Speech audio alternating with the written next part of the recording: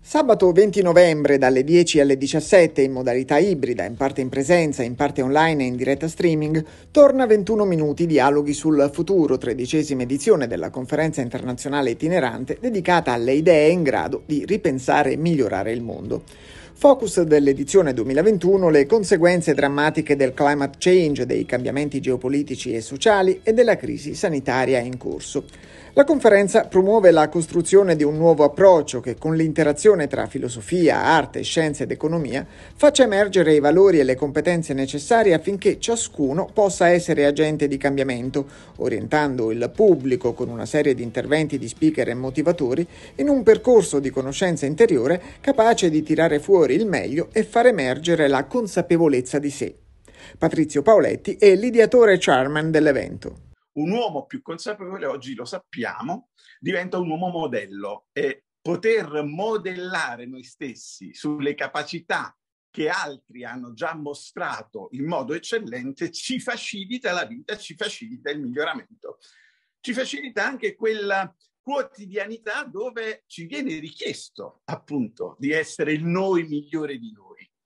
Quindi 21 minuti si concentra su questo. Il metodo poggia su solide basi scientifiche, messo a punto dalla Fondazione Paoletti e dal RINED, Istituto di Ricerca in Neuroscienze, entrambi fondati dallo stesso Paoletti, è stato validato dalle ricerche in ambito neuroscientifico e dalle collaborazioni con scienziati, istituti e università internazionali, tra cui la Sapienza di Roma, la Bar-Ilan University di Tel Aviv e il CNR. Ho incontrato Michael Gazanica nell'84, giovane ragazzo, in, con un trafiletto fantastico dove parlava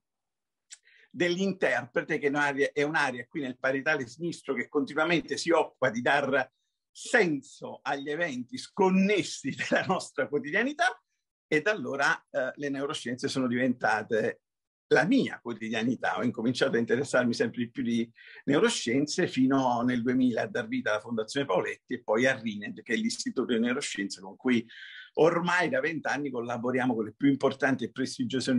università del mondo parlando e indagando di come la mente funziona e di quali sono gli spazi, gli ambiti del nostro possibile miglioramento. Un'indagine sul divenire dell'uomo e sulle sue possibili espressioni, condotta grazie alla presenza di premi Nobel, scienziati, artisti e imprenditori, oltre 150 in 13 anni, che accettano la sfida di raccontare e condividere i valori che ispirano la loro vita. E questa è la parte più bella dal punto di vista eh, dello speaker